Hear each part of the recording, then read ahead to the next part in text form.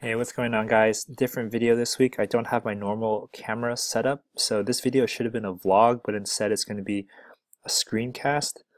Just upfront about this, we're not going to do anything specific with my computer. I'm not going to show any coding or anything inside my computer. We're just going to talk through a couple things in this video as if it were a vlog, but I just have to do it as a screencast because I just have none of my equipment this weekend. All right. So with that said, just content wise, I've been trying to spread out my content well and hoping to like cover popular things that are asked and between explaining technical concepts or talking about software engineering, I still think the number one type of question that gets asked is like how do I become a software engineer? How do I learn coding? What's the best language? Those type of questions. So this video is going to be about that and I thought a cool idea to go over today would be how to become a programmer. And this is not how to learn coding. This is not like what classes you take. It's just like my opinion on straight up, no bullshit, how to become a programmer and be kind of effective. All right, so I have four core things that I plan to talk through in this video. This to be a little live and impromptu, so bear with me, but the whole point of this is going to talk about how to become a programmer. All right, so let's just get Okay, first thing, we've already talked about this a lot and it's just basic table stakes, but you have to learn how to code, which is a basic tool that every single programmer needs. It kind of goes without question, but we have to list it. Um, the number one thing you can do is watch my videos if you want to learn how to code. Just kidding. That's not what you have to do. So how you really have to code, just to summarize this real quick, and really watch my video if you haven't. I talk about it in more detail, but first thing to do is pick one language. It doesn't really matter what language. A lot of people ask, what's the best one for this or that? But if you're really a noob and just getting into this, all you have to do is pick any language and it'll be just your vessel for learning. And the whole point of that language, even if it's not your favorite, you just have to learn to code with it. So pick one language, it doesn't matter. Um, you have to also understand computer science fundamentals and computer system fundamentals. Many people just write code and they have no idea what the fuck it's sorry, sorry, sorry. They just write code and they don't really know what's going on. But to be a really effective programmer, you really have to understand how a computer works. Like not only what you're typing, but how that those things get translated and how they actually get executed by your computer and why they're working. And that's some really powerful stuff. And you'll realize that if you understand those fundamentals, it puts you on some next level than people that just know how to, you know, write syntax or code. All right. After you do that, you can pick another language to learn. And also another important part of this whole process of number one is to get mentally frustrated and practice your analytical skills.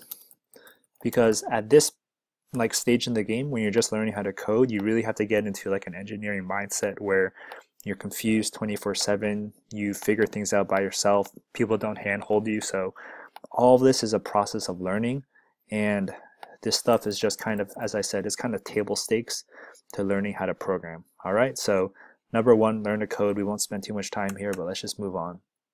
All right, next thing to do is learn frameworks and this is getting into how you actually become useful as a programmer. So at this level, you are not going to become useful at all. But if you do this level, you are going to become useful. So pick one framework that you enjoy. So if you like web programming, you could pick Ruby on Rails, or if you want to do gaming, you could pick a gaming framework. Um, whatever you want, just pick a framework, and this is actually what's going to make you kind of useful to like real life if you know how to do stuff like this because this is what you know 99% of companies need people that know how to use a framework. So that's part two is like learning a couple popular frameworks and that really makes you kind of effective and practical to even hire in the workplace because if you only know how to code and you don't know number two at all you won't really be useful yet and once you learn one of these frameworks, um, learning other ones is much easier. Um, let me just write that down. So the key is once you pick up one in some kind of realm, whether it be gaming, web, or whatever, um, it really makes learning a lot of frameworks much easier in the future. So This is also really important. And another important point that I want to make up is that you cannot go into this step without doing step one. So if you try to learn a framework first before you know how to code, you're not going to get much out of it and you just will probably be confused. I'm sure you'll be confused and this is um, what a lot of boot camps do because the let me just talk about boot camps real quick. The whole point of boot camps, which they're really good, but they prepare you to be useful at a job. They don't prepare you to be a programmer. They train you to be like useful at a job in three to six months by teaching you a couple popular frameworks so you can actually contribute, provide some value to a company but they don't go into this stuff too much. All right, so like I said, one and two, you have to learn how to code. I would actually do this first, and then you pick some frameworks that are useful so you can actually make a difference. All right, let's go to number three. Uh, let me just fix a couple. It's tough to type and speak at the same time. So I just have some silly typo mistakes here, but let's just move on. It's not a big deal. Hopefully no one yells. But okay. Okay, so the third thing you have to do to be an effective programmer is to understand software design. And what do I mean by software design? But software design is like how you structure your code and organize your system that's pervasive across frameworks. So let's write that down. So what do you have to realize that learning many of these frameworks, they're very application specific and they will promote that you do things a very certain way. But that's because many people have contributed to this framework, but along with using it as a programmer, you have to also understand fundamentals between how to design software, which goes across any framework. So this is kind of basic things like design patterns, clean code. You should know, let's write you should know how, your test how to test your code. This is a really important concept. It all falls down to software design. Some people like to call this software engineering, but it's kind of a realm that is so general that you're just expected to know this no matter what framework you're using. So these are very general skills. You should like basic design patterns, you should know what they mean. So just like builders, factories, observers, template pattern, you should know basic design patterns in software. Um, what's really important to note is that whatever software you're writing, it's, all, I guarantee you it's not unique. People have been writing software for a very long time. The applications change, but the pure software de design problems haven't changed too much. So all I have to do is do some research, read some books, um, really learn how to organize your software well. Like all problems we face in software, really they've been solved before and the tough problems are actually dealing with people which we can get into later but in terms of software and designing software nothing you encounter is unique so just do your homework and really understand software design and that's my third point so let's just recap real quick but learn to code table stakes learn about some frameworks so you can be useful to some companies because every different company uses different frameworks and they will eventually hire based on people that are more proficient at one or the other. And finally, uh, point three is that just understand software design. All right. So last point, number four, let's do it. My fourth point to becoming an effective programmer is that you have to learn some soft skills like communications, not being, sorry, excuse me, communication, not being an asshole. So let's just talk about this real quick. I just want to reiterate that even if you're really, really awesome at coding, you can't assume that people are going to want to work with you or you'll actually be an effective person wherever you are. Like if you're trying to found a company, nobody wants to work with you, nobody wants to give you money, that really sucks. If you're on a team and you think you're some hot shit, nobody's going to want to work with you. So even if you're insanely, insanely good at coding, if you don't have some level of soft skills, I guarantee you, you're not going to become a good programmer, all right, or a good engineer. So my last point in all of this is that you have to have some level of soft skills so you can work well with people and produce better work. So let's just, just get into a little bit of details here. I'm just write down some points here.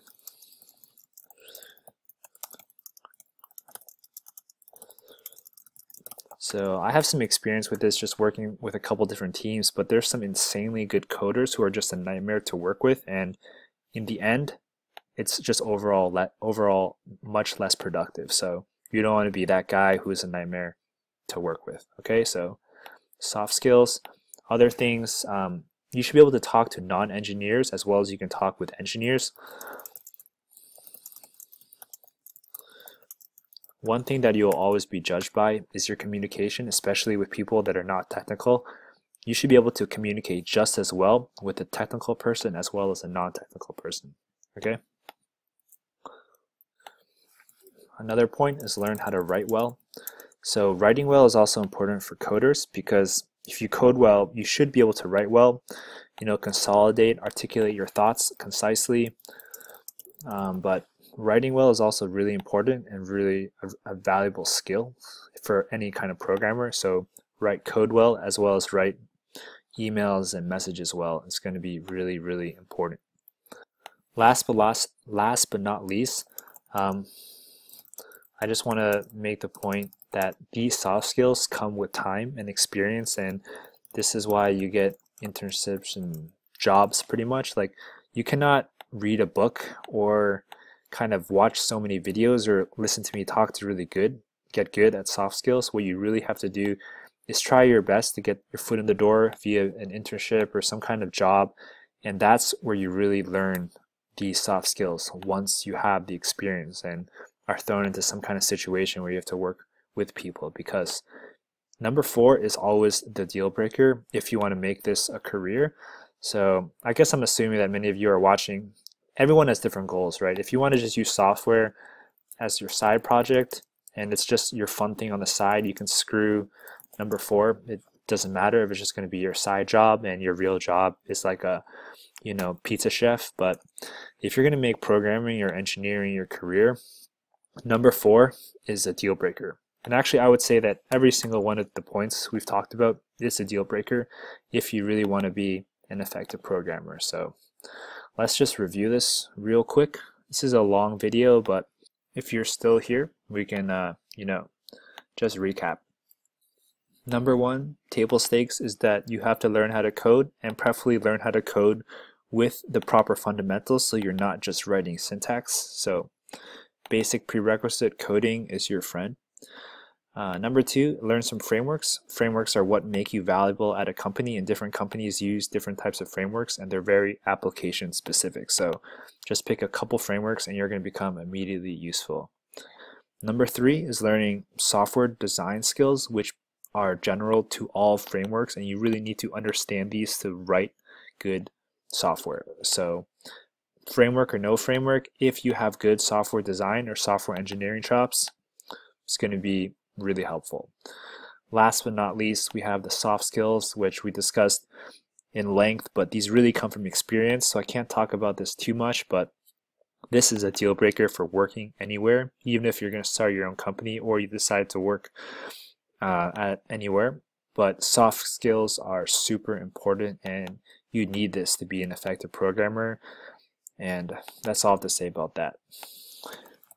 Alright guys, this video has been really long and sorry for it being so impromptu. I just didn't have my equipment this week. I couldn't really write a real script and consolidate my thoughts too much. So if you're still here, I hope this video was helpful.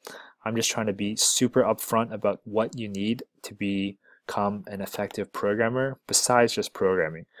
Like coding is just like 25% quote unquote of how to become a really effective programmer in any kind of real life situation. So hope you guys enjoyed this video.